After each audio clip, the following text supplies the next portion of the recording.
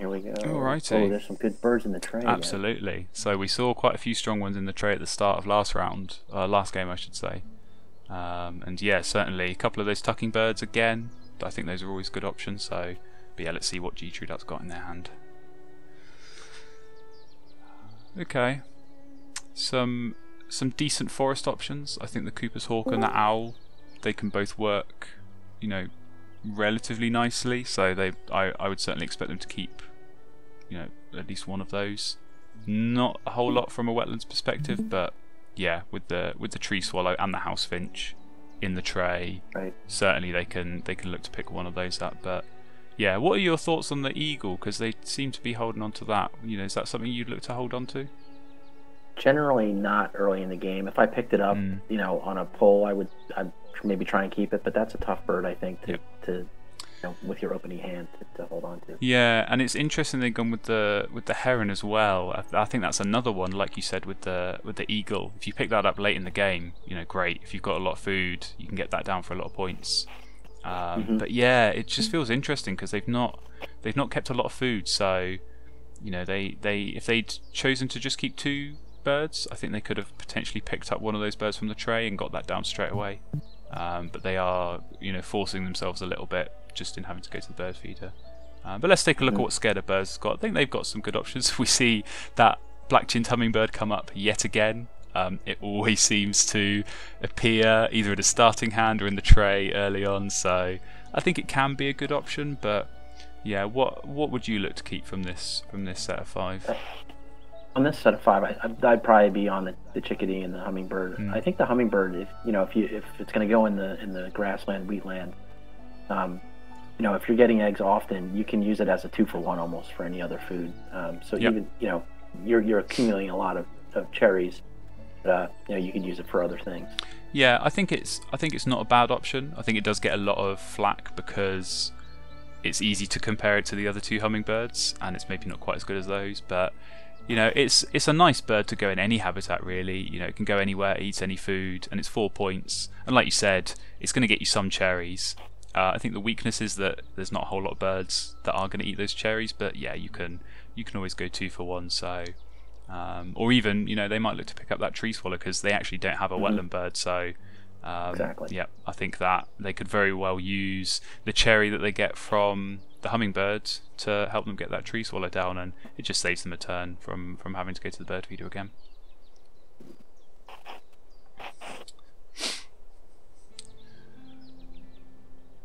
Yeah, we do do have some good comments in the in the Discord chat. So uh, a couple of people have pointed out all of these end of round goals, um, very egg heavy and lots of eggs in different nest types. So we've not seen any star nest birds appear yet, um, but you do feel like if uh, if a star nest bird does appear, I think uh, I think these players will will look to jump on that, you know, as soon as possible, because that's just going to help so much in winning these end of round goals. Um, but yeah, not uh, not seen anything come up yet, so uh, will be interesting to to keep an eye on that one at least. hmm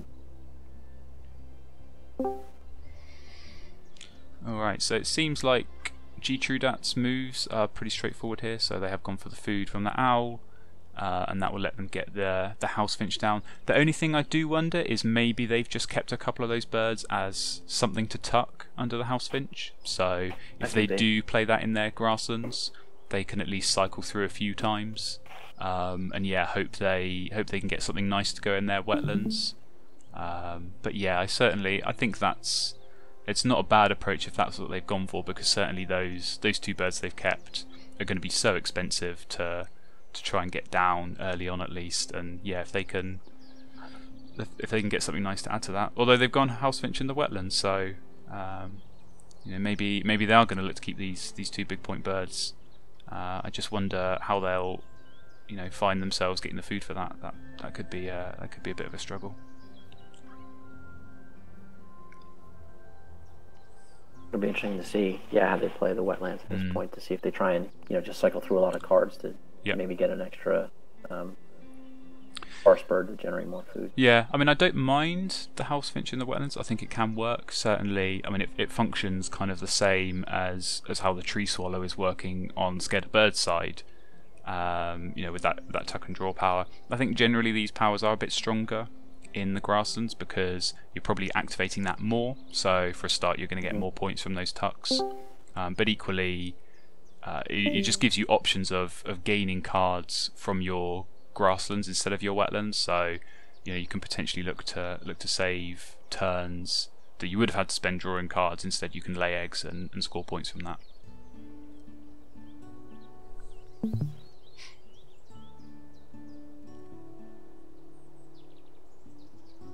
Yeah, so it does it does feel like Scared Birds is probably having the slightly stronger start at the moment. Um, they do have very similar looking boards in the sense that they've both got that tuck and draw power in their wetlands, um, and they've both got a, a, potential point giving bird in their forest. Um, but certainly, I think Scared of Birds has got some nice draws here. I think the yellow throat is a really strong option. Um, and obviously the the cowbird that they've got and and that hummingbird that can go anywhere um, they've they've certainly got some good options, and also they've got that double cavity nest down already. So you know if they can make sure that they keep eggs on both those birds, um, that's going to help them win this this first end of round. So yeah, that uh, certainly looks like a, a, strong position at the moment for Scared of Birds.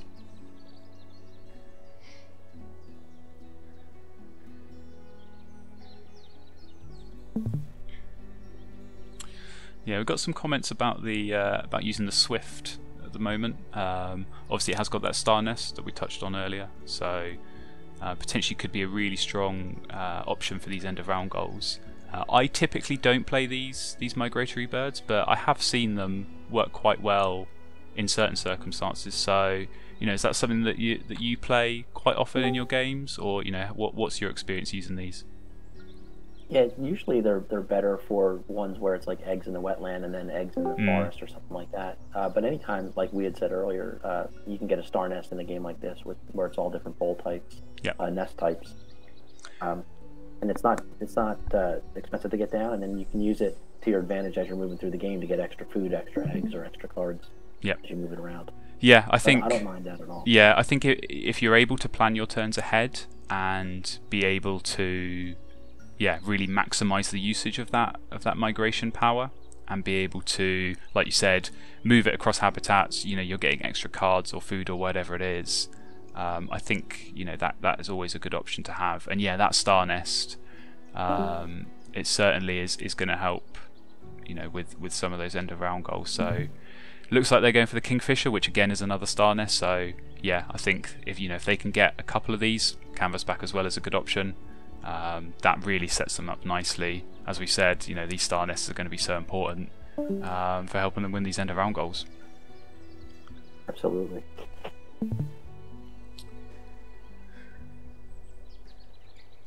Yep. So we have a brand that's come up in the tray. Um, one of those birds where people either love it or hate it. Uh, I don't mind it. I think it can work nicely. It's maybe a little bit too late at this point. Um, but yeah, some some love for the brand in the chat, um, and and there's always going to be some hatred as well from it. So um, I tend to I tend to like it early in the game yep. um, for multiple reasons. You know, you can get good birds with it, or you can just generate some cards that you can use for tucks. Yeah. Yeah, I think in that first round it can be a really good option where actually being able to draw cards is so difficult. So being able to get three in a single turn from one play is is such a strong move. Uh, but yeah, I think both players actually have quite nice options in their wetlands at the moment.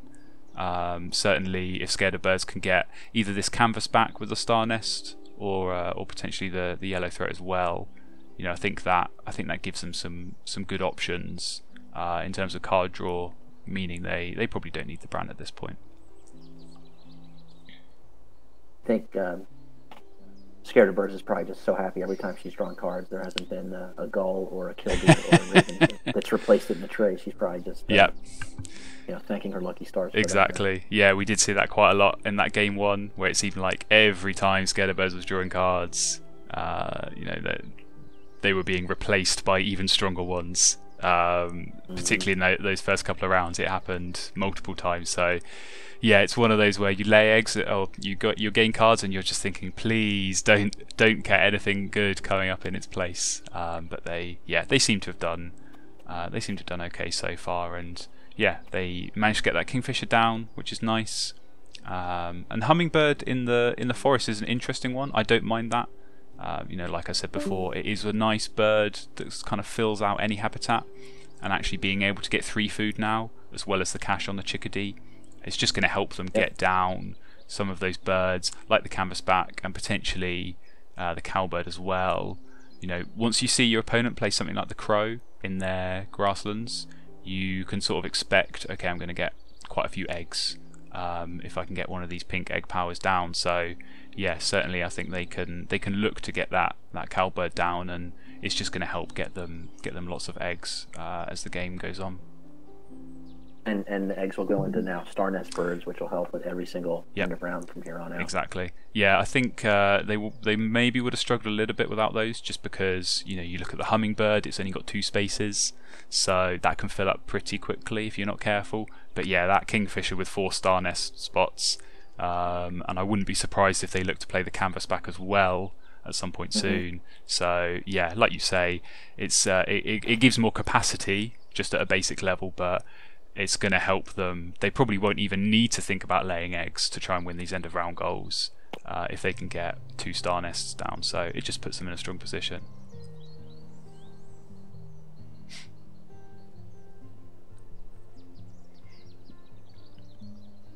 Okay, so it does look like, just based on what G Trudat's been doing, uh, I think they've been using their crow to get some rodents here. So they are potentially looking at getting that eagle down. Maybe they might go for the double bird. Um, but I think certainly that eagle, if you, if they can get it down, that's obviously a lot of points. Uh, it's going to help certainly with that next end of round goal on the platform nest. Um, and yeah, it is a strong brown power. You know, it's quite a high chance of of getting the success. So yeah, it feels it feels quite even at this point, um, just in terms of you know points on the board and potential of the of the cards in their hand. Uh, I do wonder if it's going to be, you know, again one of those games where just based on the the star nest powers and being able to get those end of round goals, uh, that could uh, potentially make the difference here for Scared Oh boy! Oh, here we go. Here we go. Another one. and, a and a mockingbird as well. So just as I say, it's looking even. I have to put my foot firmly into my mouth as uh, as that draws a raven. So yeah, scared of birds. They got through two rounds this time, so they did a little bit better. They got through two rounds without having to see an OP bird appear. Um, right. But yeah, they're gonna they're gonna see that come down now and just think, oh come on, uh, you know what what do I have to do to get a little bit of luck here? right. um, oh well, there you go.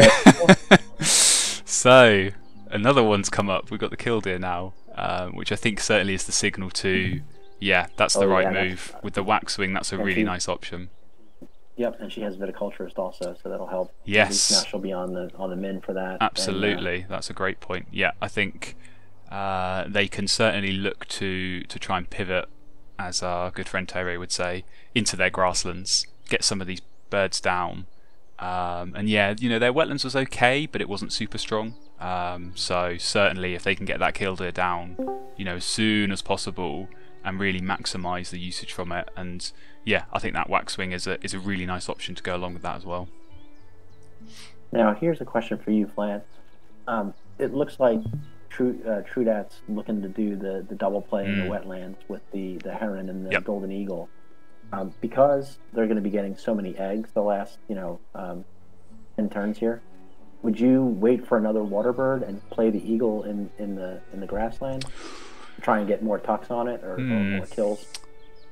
Yeah, that's a tricky one. Um, How would you play that? I think I think I'd I think I'd go for the double play here with the with the heron and the eagle. Uh, I think potentially they'll look to get that mockingbird down in their grasslands. Um, I think that's probably a better option than the eagle. Obviously, you can copy the the sparrow in that case, and so you're getting that guaranteed point just from the egg. Um, but yeah, I I just looking at the nests, maybe they might need it for this end of round goal. Uh, but I think they do have a couple of platform nests already. So yeah, I think I'd be looking to get the get the heron and the eagle down. Uh, it just gives them that option at least to be able to draw extra cards. Um, you know, obviously as strong as that grassland is, they don't have great card draw at the moment. So I think if they can just extend that wetlands out a little bit, as it looks like they're doing here, um, it just helps them because you know they're probably going to want to draw cards at least one more time you know, maybe even twice if they don't get anything good. Um, and they're they're yeah going to have to just hope they can get some of these big point birds because uh, getting the food from that grassland uh, is is not really going to be a problem for them. out comes the killdeer. And out it comes, yep. So I don't think G True has much to complain about seeing that, considering the Raven they've got this game um, and all the ridiculous right. birds they had last game as well. So, um, yeah, be interesting to see. I feel like in terms of points, just based on the last few turns, you know, G True managed to get that double play down. Uh, obviously, the Raven itself is five points, which is nice. So I think mm. they've managed to score quite a lot of points in the last few turns. Uh, whereas, you know, looking at Scared of Birds, they've had to play the Waxwing is only three points, the Killdeer is only a point. I think they might have had to spend a couple of turns gaining food to get those down.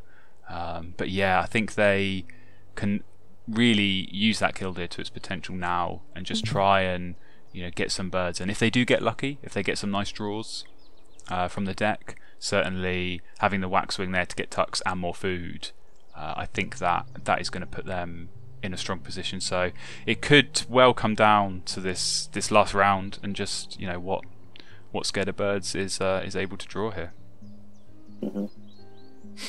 Potentially, yeah, if she can get a bonus card down or two. Yeah. And obviously, not forgetting, uh, you know, that pink power with the cowbird, they'll they'll certainly expect lots of eggs.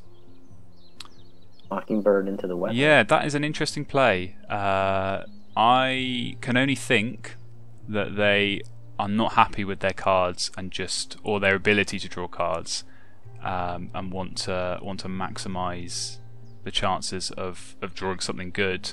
You know, I probably would have expected that Mockingbird to go in the wetland or in the grassland, sorry, rather than the wetlands, because you are going to lay eggs a few times. You're going to get extra points from that.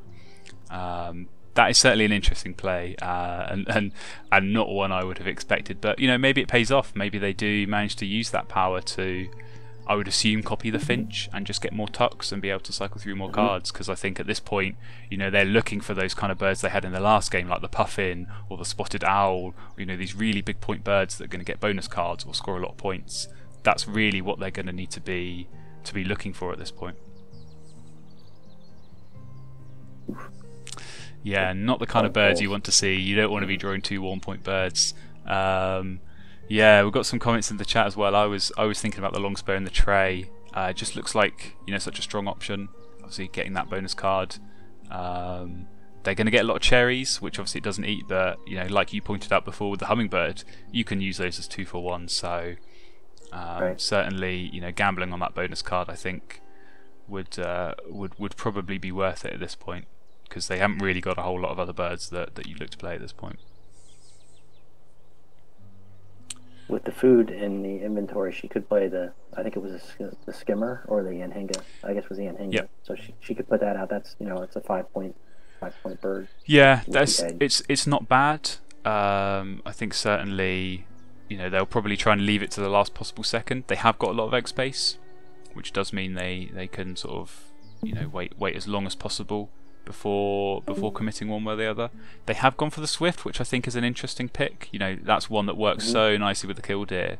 Um, it does maybe feel a little bit late, and yeah, just seeing what's popped up in the tray in place of that Swift, uh, I think I would have rather had the Warbler, and certainly, yeah, G Trudat will be will be feeling very happy, um, uh, and the Ooh. turkey as well. Turkey. So, yeah, I think that's probably about as perfect of a of a draw that they could have asked for G Trudat, and certainly they can lay eggs a couple of times, easily get the food to play those two big point birds. Um, and I think that's going to help out with their Oologist bonus card as well. Mm. So yeah, looks like uh, looks like a strong last round here for G Trudat.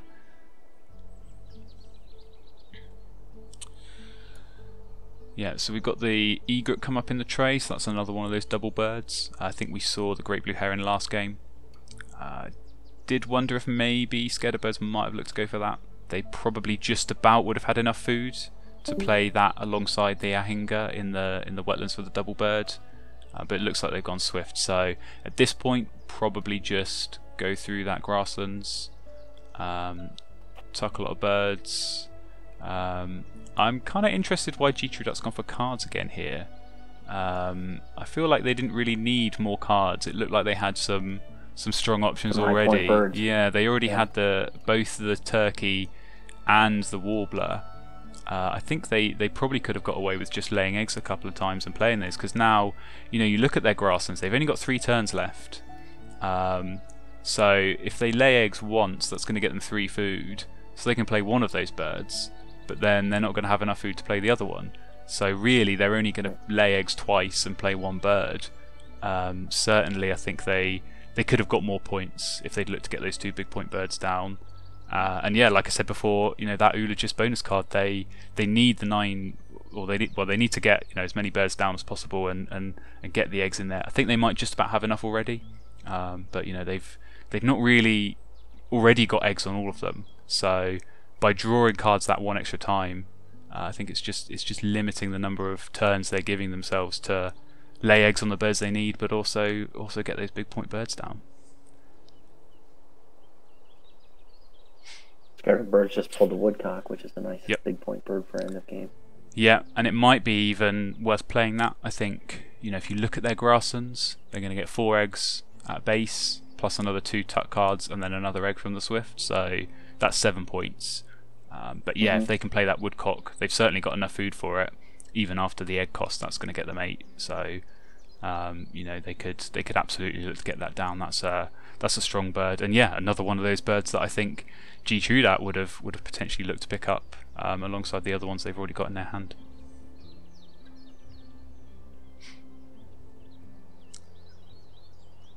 Yeah, so just looking at the food um, that G Trudat's drawn, they have gone three worms. So to me, that kind of looks like they're going to go for um, this warbler they've got in their hand, and then potentially, you know, you discard that you discard that other worm when you're laying eggs. Um, mm-hmm. But you know that's that's seven points, and they did have a couple of eight-point birds in their hand that they could look to play instead. Um, maybe they have an eye on this on this end of round goal. Uh, you know, just trying to look. I think they've got three bowl nests, and that is going to help them tie at least what Scared of Birds has managed on their board. So that you know that that probably made sense as a play, but I still feel like those two eight-point birds um, that are sitting in their hand at the moment, uh, it feels a bit of a shame that that they've not managed to get those those down on the board because you know it's a lot of points to be leaving in your hand here. Is the the first bird in the hand that was a prothonotary warbler? Is that yep. that's a uh, cavity? That's right? a cavity. Yeah, so, yeah. So yeah. I think they they were potentially being a little bit blinded here by the end of round goal. You know they have obviously gained mm. a few points by managing to tying that, but they did have to spend another turn drawing cards, and that turn could have been spent, you know, playing one of these eight point birds and scoring a lot more points. Um, mm-hmm. So it does it does feel a little bit of a shame um, that those have been left, but yeah, I think this is a tough one to call. I feel like when the Raven came out, just going to ask you. Yeah, when the Raven came out, I thought, oh, G Trudat's kind of got this in the bag. Um, but maybe some missed options here at the end. And actually, you know, with the killdeer and even with the swift as late as it was, and obviously that cowbird getting lots of free eggs, um, I wouldn't be I wouldn't be massively surprised if if scared of birds can can get close at least here. But yeah, I'm I'm not feeling confident enough to call which way this game is going to go. So uh, we'll just have to wait and see as uh, as the scores count up here. I think Scared of Birds got a lot of eggs um, and and more tuck cards, so that could potentially be what brings it back for them here. Yeah, she had more. Uh, and there we go, super close. Super, yeah, close. super close. Three points in it. So yeah, good game. More more overpowered birds coming out. Um, but yeah, G Trudat just in the end nicks it by by three points and uh, that hooded warbler with the uh, with yep. tying the bonus in the last round. And, yeah, uh, those three points that came from that that last end of round goal. So, yep, good good couple of games, and G Trudat winning two to zero will go through uh, into the next round. So, well played, and yeah, congratulations to G Trudat.